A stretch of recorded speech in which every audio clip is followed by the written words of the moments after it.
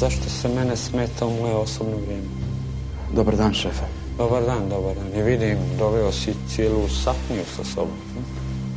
Da, jako mi je žao što vas smetam, ali... Dobio sam nalog za uhićenje Lize Cohen. Treba mi sprovesti u logor Danica. Još danas. Možda. Žao mi je Franja, ali sve piše tu na papiru. Vilko, malo, mora malo da se šališ, ne? Dobro, zašto ste me to sad podirali? Ti šuti, tebe niko ništa nije pitao. Šuti! Si ti zajebavaš, Vilko, sad? A ja se uopće ne šalim, šefe, ja sam dobio naređenje. E to naređenje ja sad ukidam.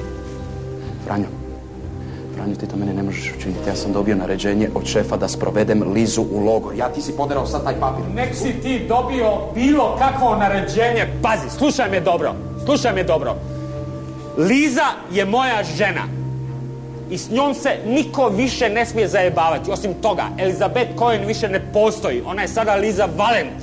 Ona je moja žena. A ti znaš ko je Franjo Valent. I ti moram objašnjavati ko je Franjo Valent. Ne, ti moram naravno, objašnjavati naravno. ko je Franjo Valent. Naravno da ne. Tako je. I nemoj više da vas vidim s tim pizdarijama ovdje. Jel me čuješ dobro? Da. U redu, jasno. I ako vas dvojicu s njim vidim još jednom, nemojte mi se pojavite pred vratima, mrš odavde, mrš odavde!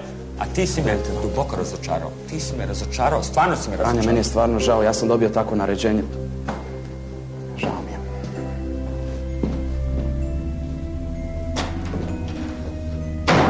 Pa jesi ti čula ovo, ha? Jesi čula ovo? Ovo je nečuveno, nečuveno, kakav balavac. Balavac meni ovdje da dođe. Moja,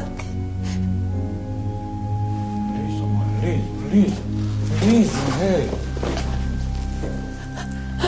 Nemoj se ti ništa brinuti, po tebe će tvoj, tebe će tvoj Franjo sačuvati. Ništa se tebi ne smije dogoditi.